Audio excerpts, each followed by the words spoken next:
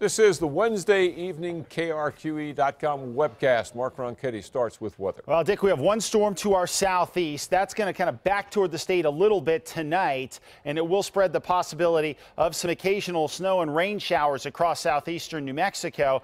And then it looks like beyond that, we may get a little break tomorrow morning before the next storm comes down. This one is far colder, but doesn't have all that much moisture with it. So as it comes in, snow showers possible around the Four Corners late tomorrow night and over the northern mountains. Everybody Everybody else gets a ton of wind by Friday and very cold temperatures through the weekend. Governor Susana Martinez has decided to take advantage of President Obama's Health Care Act and expand Medicaid health insurance to 170,000 more New Mexicans. That means all New Mexico adults making less than $15,400 a year will have insurance coverage starting next year. The federal government will pay 100% of the cost for the first three years then the amount the feds pay will gradually decrease to 90% by 2020. The governor says the people covered by this expansion are already driving health care costs up because they have no insurance, so we should let the feds step in and pay for it.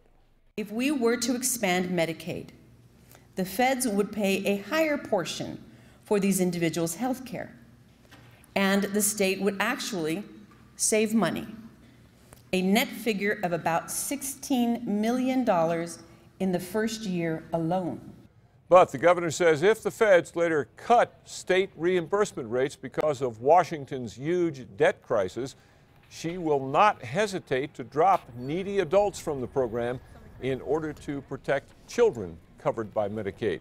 The Rio Grande Zoo's very popular 18 year old koala has been euthanized. Biopark officials say Zaki was put down yesterday they made what they call a difficult decision after he lost a significant amount of weight in recent weeks and became very weak.